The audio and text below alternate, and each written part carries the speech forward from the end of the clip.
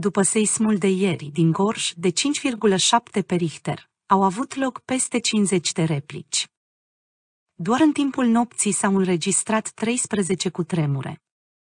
După cutremurul puternic de ieri din județul Gorj, de 5,7 pe scara Richter, replicile s-au ținut lanț. În doar 15 ore, numărul replicilor a trecut de 50. Doar în timpul nopții s-au înregistrat 13 seisme. Ce spune specialiștii?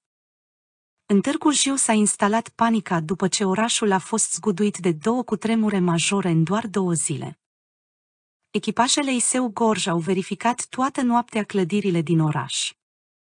Astăzi, mai multe instituții au anunțat că și-au suspendat activitatea după ce clădirile au fost afectate în urma cutremurului de 5,7.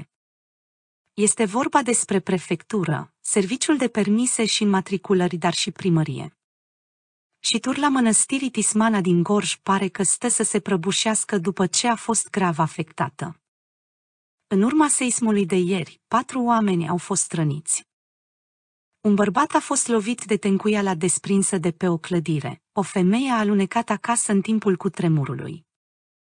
O bătrână cu luxație de șold, dar și un alt bărbat care a ajuns de urgență la spital după ce a povestit că a sărit de la etajul 1 în timpul seismului, scrie Antena 3.